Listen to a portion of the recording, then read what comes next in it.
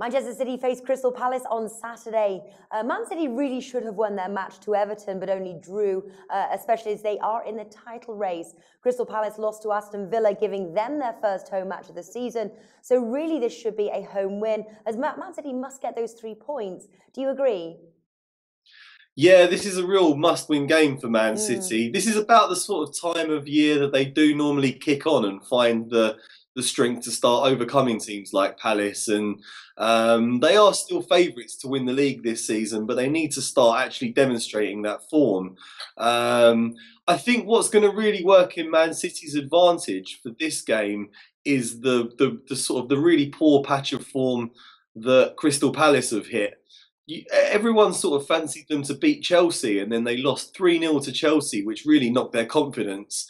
And then they lost their last game to Aston Villa, and Aston Villa hadn't won in 20. Aston Villa were bottom of the league and just couldn't buy a win from anywhere, mm-hmm. and and they somehow beat Crystal Palace. So mm-hmm. these Crystal Palace players are going to be coming into this game really, really lacking in confidence, and I mm-hmm. can see City doing a number on them here and winning this. Yeah. So then, would you say for the for the for the bigger bankroll, 1.4 William Hill uh, to play the Man City win? Do you think there's any value in that? Not really, to be honest.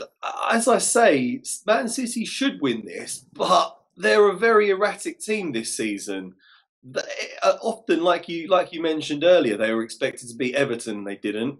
Um, and yeah, there, there's there's been a few sort of strange results where you'd really expect them to to dominate, and they've struggled. Um, key man Vincent Kompany at the back is still injured and they're always a defensive liability without him. So I think for for that sort of price, you'd have to lay down quite a fairly high chunk of money to make it worthwhile. So I'd probably I'd probably avoid I'd probably avoid that and look mm-hmm. to um, look to some some greater odds for some more sort of long shot bets on this one. Maybe looking at more correct scores and first goal scorers than outrights. Yeah, yeah. Well, I've got on my notes here Man City minus one. You can get that around 1.61, 888 Sport.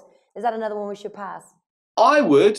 Um, I mean, Man City are fantastic going forward. They've got Yaya Toure, they've got Aguero, Silva, De Bruyne, Sterling. They, they they have the capability to score many goals, but I mean, based on their performance when they didn't score against Everton, and um, just just based on for me not knowing which Man City is going to turn up, that's yeah. one I'd pass on. All yeah. Right.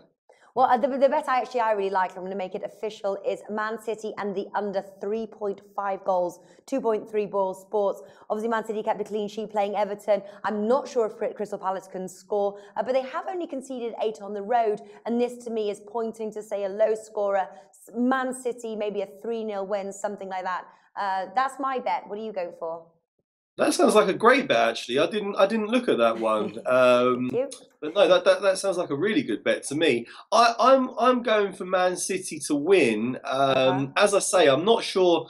I'm not sure about the um, the minus one, but because you can get you can get better odds on it, I'll, I I'd do a half stake on Man City to win one 0 mm-hmm. and a half stake on Man City to win two 0 because I just um, I, I, I, do think Crystal Palace will struggle to score. I think they're they are lacking in confidence at the moment. Um, as I say, I wouldn't lump on on an outright for Man City, but I'd put half stake on on those correct scores. Mm-hmm. And I also really like the look of uh, Yaya Toure to score first. He's um, plus eight hundred with Coral, which is a really good price for for a player that really does seem to take the game by the scruff of the neck and come up with crucial goals. And he scored three in his last five, so I'd look for that. So I'd, I'd like a half stake on that as well.